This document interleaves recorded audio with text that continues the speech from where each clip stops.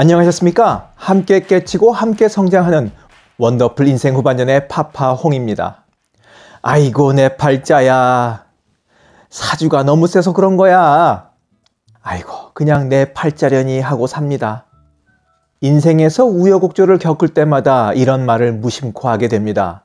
표현은 조금씩 달라도 타고난 운명이니까 어쩔 수 없이 참고 산다는 뜻을 품고 있습니다. 사주야 태어난 연, 월, 일, 시를 뜻하는 거니까 바꿀 수야 없지만 명리학자들이 말하기를 노령 여하에 따라서는 팔자는 바꿀 수 있다고 합니다. 그래서 오늘은 팔자를 바꾸고 보다 나은 인생을 사는 방법에 대해 여러분들과 이야기 나눠보려고 합니다. 팔자 탓하십니까? 그러면 바꾸시자고요. 자, 본격적인 이야기 지금 시작합니다.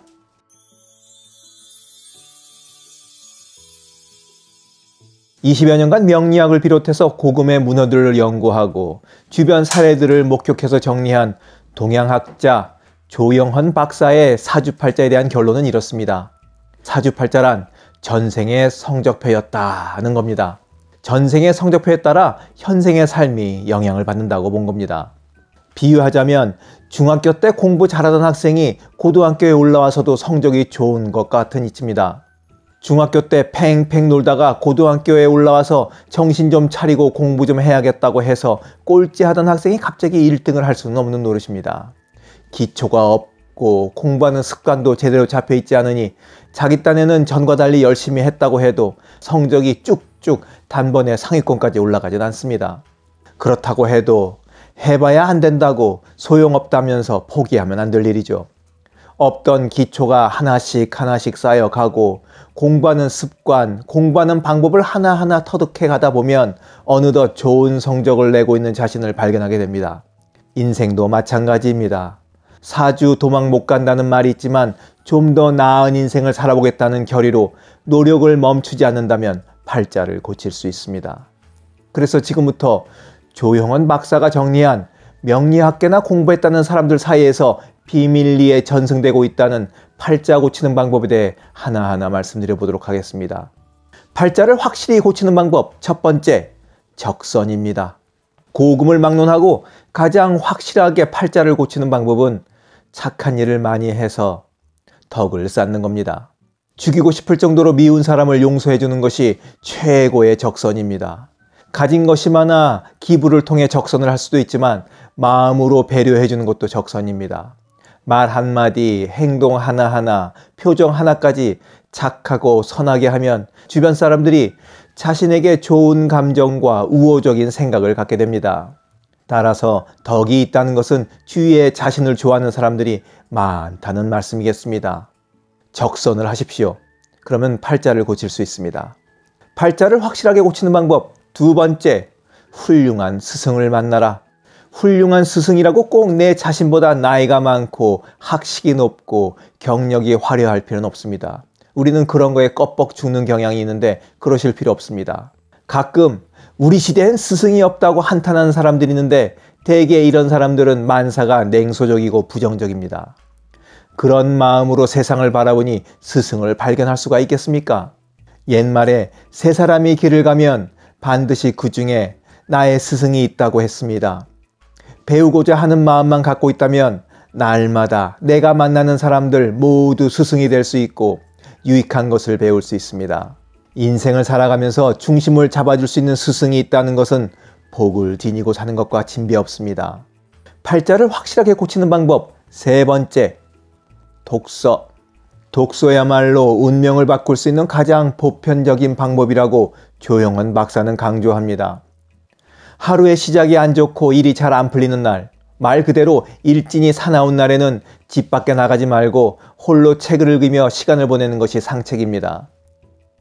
운이 좋은 날이라면 길을 걷다가도 도와주는 사람을 척척 만나게 되겠지만 운이 좋지 않은 날에는 뒤로 넘어져도 코가 깨지고 접신물에 빠져 죽을 수도 있다는 말이 있듯이 불운이 계속 찾아오기 마련이기 때문입니다.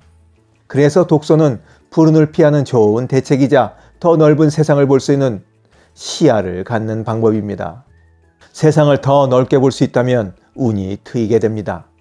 팔자를 확실하게 고치는 방법 네 번째 명상 명상, 참선, 기도를 매일 하면 팔자가 바뀝니다. 명상, 참선, 기도가 방법에 따라 차이는 있지만 궁극적으로 얻어지는 것은 같습니다. 바로 마음의 안정과 평화죠. 명상이나 참선, 기도는 숨가쁜 하루를 사느라 온통 혼란스러워지고 예민해지고 뾰족하게 날이 서 있을 수도 있는 우리 마음의 브레이크를 살짝 밟아주는 시간입니다. 명상이나 참선을 해야 한다고 해서 꼭 눈을 감고 가부좌를 틀고 앉아 해야 할 필요는 없다고 생각합니다. 제가 선택한 방법은 저는 하루의 대부분을 컴퓨터 모니터 앞에서 보내거든요. 그래서 모니터 위에 제 마음을 평화롭게 해주는 글귀를 적어놓고 수시로 들여다보고 읽습니다. 그리고 오전 10시 30분, 오후 3시 30분, 동료들이 morning tea, afternoon tea를 마시는 시간에 저는 사무실을 나와 햇볕을 쬐며 걷습니다. 저에게는 평일 낮 걷기와 주말 잔디 깎는 시간이 명상의 시간입니다. 팔자를 확실하게 고치는 방법 다섯 번째 주제 파악을 하라. 자신에게 맞지도 않는 자리를 탐하거나 행동을 하는 사람에게 사람들은 주제 파악부터 하라고 말을 합니다. 명리학에서는 자신의 사주팔자를 알라고 말하는데 이 말은 즉슨 자신의 분수도 모르면서 과욕을 부리고 또 자신의 능력과 재능이 무엇인지도 모르면서 엄한 곳에 에너지를 쏟으면 낭패를 보는 수가 있기 때문입니다. 자신의 능력과 역량이 라이트급인지 밴텀급인지 웰터급인지 미들급인지 헤비급인지 알아야 합니다. 그럼 제 자신과 능력이 라이트급이면 평생 라이트급으로 살아야 되느냐? 아니죠. 체급으로 올릴 수 있습니다. 복싱 선수들도 체급을 올리지 않습니까? 노력해서 체급을 한 단계씩 차근차근 올리면 됩니다.